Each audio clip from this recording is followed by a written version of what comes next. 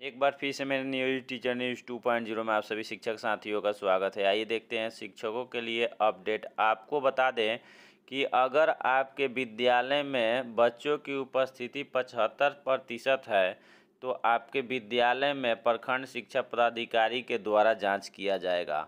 अगर उससे ज़्यादा है तो जिला स्तरीय कर्म पदाधिकारी द्वारा जाँच किया जाएगा, और उससे भी ज़्यादा है तो राज्य के द्वारा जाँच किया जाएगा। तो पूरी जानकारी के लिए वीडियो को अंत तक ज़रूर देखें। उससे पहले मेरे news teacher news two point zero को अभी तक सब्सक्राइब नहीं किया तो चैनल को सब्सक्राइब कर ले और बेल आइकन वहाँ से दबा दे नोटिफिकेशन ऑन कर दे, ताकि आने वाले हर एक वीडियो का नोटिफिकेशन मिले। सबसे पहले आपको तो आइए देखते हैं वीडियो को विस्तार से। जैसा कि आप स्क्रीन पर इस पत्र को देख रहे हैं, जिला शिक्षा पदाधिकारी सीतामढ़ी के द्वारा ये पत्र जारी किया गया, जिसका पत्रांक है तीन सौ इकसठ। और बता दें कि यह विषय दिया हुआ शिक्षा विभाग द्वारा संचालित विभिन्न लाभुक आधारित योजनाओं के पात्र लाभुकों को विवरण मेघा सॉफ्ट पोर्टल पर अपलोड करने के संबंध में विशेष सचिव सह नोडल पदाधिकारी डीबीटी कोसांग बिहार पटना पत्रांक सात सौ अंठावन दिनांक तेरह दस दो हज़ार बाईस दो हस्ताक्षरी कार्यालय पत्रांक तीन सौ चौवालीस और दिनांक पंद्रह दस दो हज़ार बाईस। यहाँ पर आप देख रहे हैं, उपयुक्त विषयक प्रसंग के अधीन पत्र के आलोक में अधो हस्ताक्षरी कार्यालय के पत्रांक तीन सौ चौवालीस दिनांक पंद्रह दस दो हज़ार बाईस द्वारा आपको विभिन्न लाभुक आधारित योजनाओं के तहत मिलने वाले लाभ के लिए नामित नामांकन नामांकन तिथि से 30 सितंबर तक पचहत्तर प्रतिशत उपस्थिति वाले लाभुकों को लाभान्वित कराए जाने के लिए आपको विद्यालयवार सूची उपलब्ध कराने हेतु निर्देश दिया गया था। परंतु अब तक उपलब्ध नहीं कराया गया। यानी विभाग के द्वारा सूची उपलब्ध कराने के लिए समय सीमा दिया गया था, लेकिन उस समय सीमा में उपस्थिति सूची उपलब्ध नहीं कराया गया है। आदेश दिया गया था, मुख्यालय अथवा क्षेत्रीय पदाधिकारियों द्वारा स्तर से विद्यालयों का औचक निरीक्षण के दौरान छात्रों की उपस्थिति 50 से 60 प्रतिशत रहती है।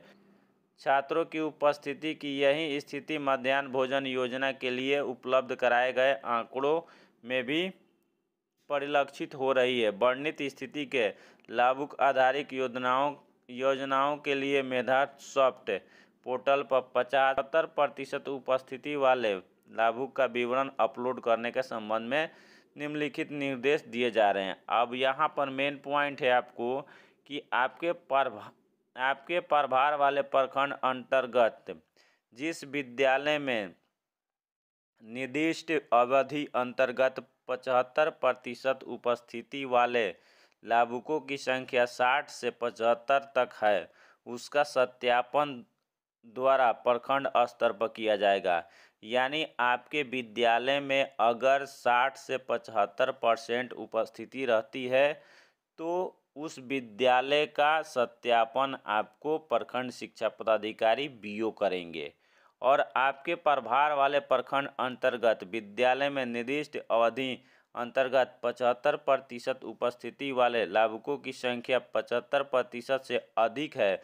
उसका सत्यापन जिला स्तर पर शिक्षा विभाग के पदाधिकारी द्वारा किया जाएगा।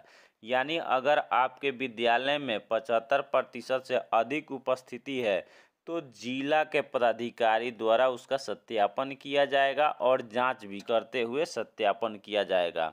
आपको निर्देश दिया जाता है कि पचहत्तर प्रतिशत से अधिक उपस्थिति वाले विद्यालय के सूची अधोहस्ताक्षरी कार्यालय को विहित प्रपत्र में दिनांक उनतीस दस दो हज़ार बाईस तक उपलब्ध कराना सुनिश्चित करें।